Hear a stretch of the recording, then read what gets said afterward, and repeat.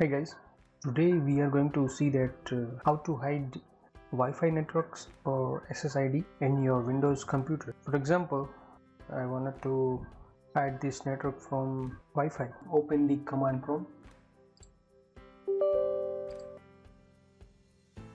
and here you have to copy this command but before executing this command just change the Wi-Fi name that you wanted to hide from the Wi-Fi. So in my case my Wi-Fi name is Nikhil. So I will change the Wi-Fi name and copy this command paste it to the command prompt and hit enter.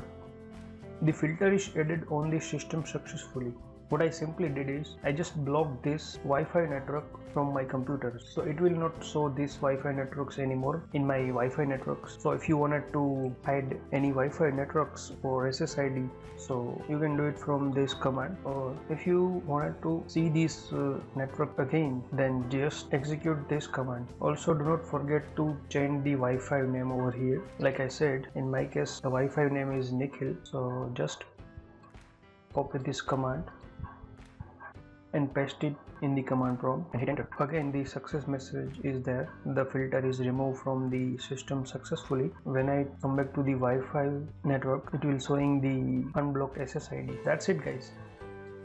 You don't need to write this command manually. I will ping both of these command to the comment section below or the description box below. So you can just copy it from there and execute it in your command prompt so that's it guys. Thanks for watching